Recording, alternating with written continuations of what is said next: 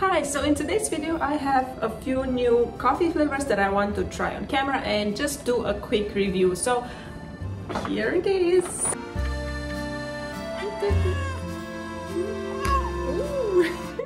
Been a while since I haven't talked about new flavors or I haven't done any coffee review. That's simply because I was just using my regular coffee capsules. You can check out my favorites of my top 10 Nespresso favorites. Those are still the same. So recently I passed by um, Nespresso store and I was curious to try these two flavors. So the first one is Paris Espresso and the second one is Istanbul Espresso. I also want to mention that I have a bunch of new uh, compatible capsules that I'm going to try in an upcoming video. So if you're looking for more affordable or different coffee options, um, I'm going to give you my favorites in that video. So make sure you watch it at next. Today it's the Espresso Istanbul. So this one it's a more dark roasted uh, coffee bean. It's an intensity number 8 which is indicated here and let me read you the descriptions. So for the Istanbul, uh, espresso takes you back in time to the original coffee houses. This intense ambrosial brew bursts with boldness, wild ripe fruits, and a delicate almond touch. Thick and velvety in homage to Turkish coffee, its Ethiopian Arabica and Indian Robusta remind us of this city at the crossroads of the ancient coffee trade house roots. It's a blend of cosmopolitan, ah, it's a blend as cosmopolitan as blah blah blah. Uh, enjoy it like a local, accompanied with a glass of water and a piece of Turkish delight. We're not going to do that, we're not locals, but I'm excited to taste the blend of Ethiopian beans and Robusta from Indian Robusta. So let me read you the description for Paris coffee as well. So the Paris uh, World Exploration is um, a lower intensity, intensity number six. This one was recommended to me by the shop um, assistants because I asked them what is something new that it's worth a try and then they told me this one is the most popular right now. And um, besides being intensity 6 I think let me see what they write. Do they write anything in English? Yes. Paris boasts a rich cafe cafe culture where people enjoy philosophizing over coffee. Does it Uh, World Exploration Paris uh, transports you to the, these terraces with its balanced blends of lightly roasted Latin American Arabicas, yay, Arabicas, uh, emboldened by Vietnamese Robusta. Ooh. So that is an interesting combination. Robusta usually is very bitter. it's not one of my favorite coffee beans.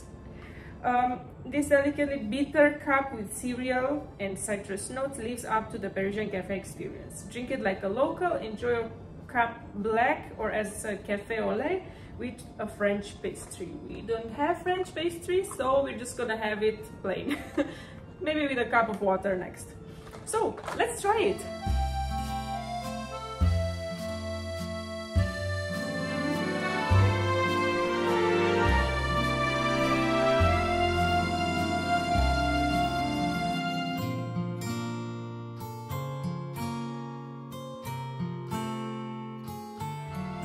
To the fun part, the taste test. So let's start with the lighter roast, which is the Paris Espresso.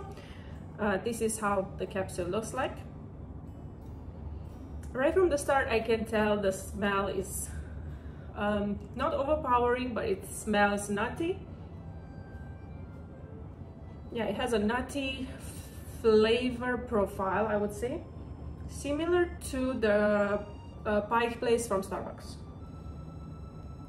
I can feel like a blend of nuts with a slightly hint of berries. Overall, it's something pleasant. It's slightly on the acidic side because it's a roast number six and usually lower intensity coffees are taste a bit more acidic. Mm, but I don't hate it. I think I'm yeah, it's uh, probably a 7 out of 10 on my flavor profile rating. It's definitely a good coffee in my opinion. Let me try it by adding some milk to it. Just to see how and if the if the flavor goes through milk. All right, that's the question. Hmm, interesting. yeah I can definitely feel it. it it's a mouthful of coffee so it's quite syrupy and uh, it lingers in your mouth. Um, yeah it's an average cup of coffee. I don't think it's anything great but it's not terrible. So now let's try the Istanbul. Istanbul okay I'll try black first but before that I need to wash my plate. Palette let's try Istanbul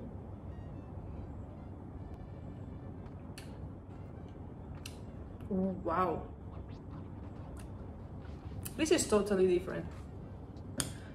Um the first hint of flavor that comes through is definitely it tastes like a flavored coffee but it's not. Am i reading this right? Yeah. The smell uh, smells fruity. It has like an intense uh, berries again flavor profile but it's more like a chocolate berry. Um, if you have tried the Cadbury forest fruit that's what this coffee um, brings me me to. It's something like a um, hint of Turkish delight maybe? I don't know. Hmm. I would think this would taste really nice uh, iced so. Something unique is definitely a unique coffee. I don't think I own any coffee that tastes similar to this the Paris one I don't think it's unique I'm sorry but I mean Pike Place and um, Vienna coffees is like almost in that zone in the nutty uh, coffee area with a slight hint of robusta but this one is definitely something more unique. It's very chocolatey and fruity and more dark roasted. It's more bitter definitely. Bit of milk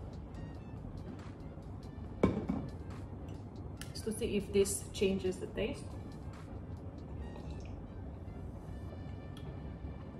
Wow i still like it. I mean i i definitely enjoy trying coffees that are different. And if you're someone who looks to try something new something unique something that it's not your regular Monday to Friday coffee, I think you would enjoy the Istanbul. But if you're someone who doesn't like to take much risk with your coffee, you prefer your coffees light to medium roast, um, then this is a coffee that you could drink like every day. So that is my review for today.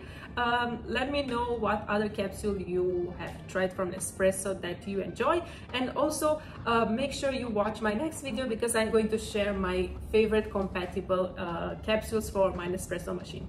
Bye!